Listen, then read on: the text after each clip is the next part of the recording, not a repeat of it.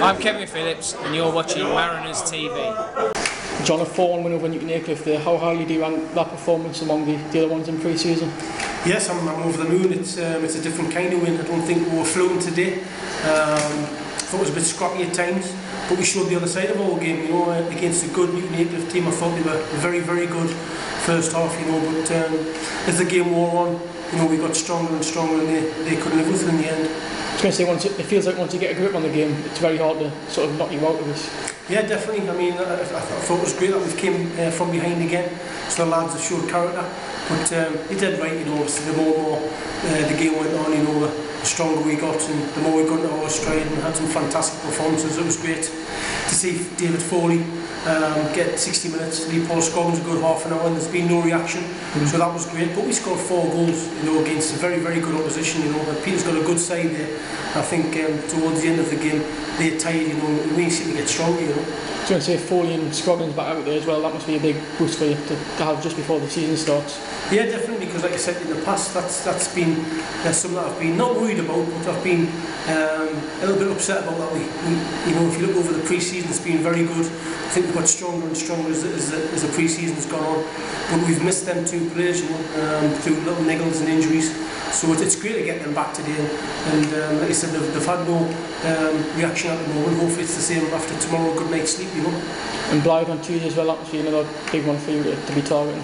Yeah, obviously Lee Pitton, a good friend of mine, Tom Wade, a good friend of mine. Obviously it's good to, to get really, really top opposition here. I think the way pre-season's gone, um, we've had really good opposition all, all, all of the time. And we've steadily, steadily improved. And I think we need to improve even more because Blyth Spartans, for me, have, have proved to be the best uh, non-league team in the North East over the last couple of years. I think Lee Picton has helped take them to another level.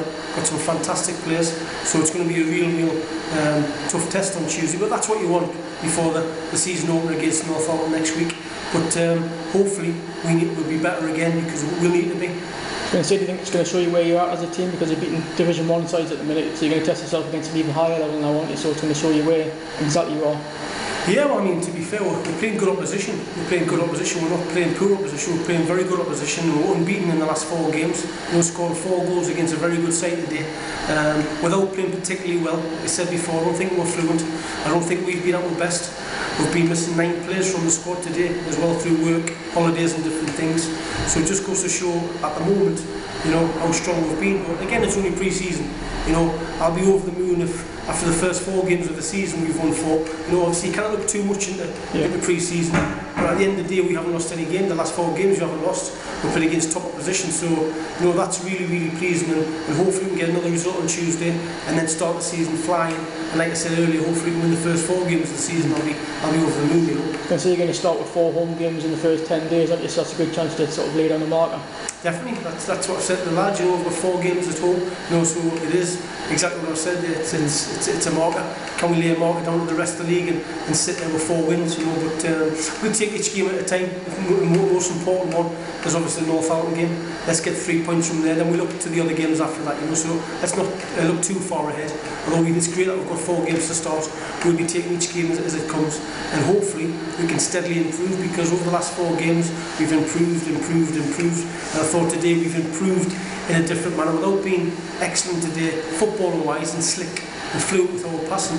The lads have shown great togetherness today. They've, they've worked hard for each other against good opposition. Just finally know about next Saturday, what are your thoughts on that game and the, test that you can have in that game? Well, I've actually got Mark Scott, he came back from holiday last night, so Mark's gone uh, there, they're playing North Shields today in Northallerton, so Mark Scott's gone there to do a full a full report on so I'll be speaking to Mark later on tonight, we'll find out exactly what their strengths are and their weaknesses, um, but they'll be tough, I mean I spoke to Peter Dixon, manager Newton Aycliffe, they said they're not a bad side at all, they played them last week, um, so we'll not be taking anything for granted, you know, that game against North Northallerton will be the biggest game of the season so far, and we need to be at, I'm sure you will be.